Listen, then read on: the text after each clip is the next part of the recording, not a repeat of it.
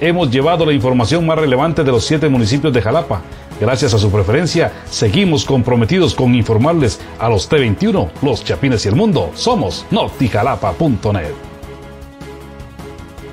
Evitemos la activación innecesaria de alertas Alba Kenneth, atendiendo la información que nos da el licenciado Luis Méndez, delegado de la Procuraduría General de la Nación.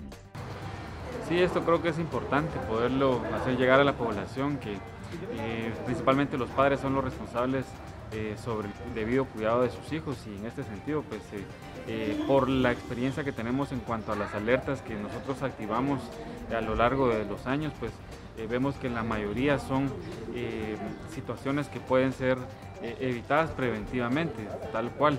Es decir, que teniendo los acercamientos necesarios con sus hijos, eh, verificando las amistades, eh, procurando guardar los espacios eh, que tengan ellos justamente de recreación, pero una recreación sana en lugares adecuados. Y pues todo esto creo que es lo, importante, ¿verdad? Que los padres de familia pues tengan pleno conocimiento que deben tener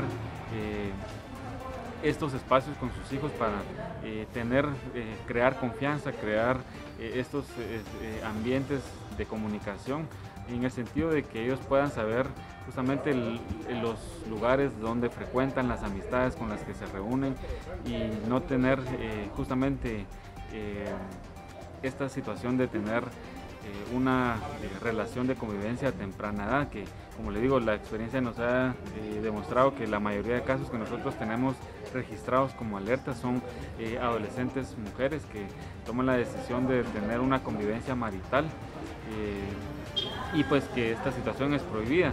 Entonces eh, el rubro o la cantidad mayormente de casos que nosotros registramos son adolescentes mujeres eh, que eh, tienen la intención de convivencia marital, se activa la alerta y, y pues nosotros establecemos la necesidad de un proceso de protección. Para los T21, los Chapines y el mundo, notijalapa.net.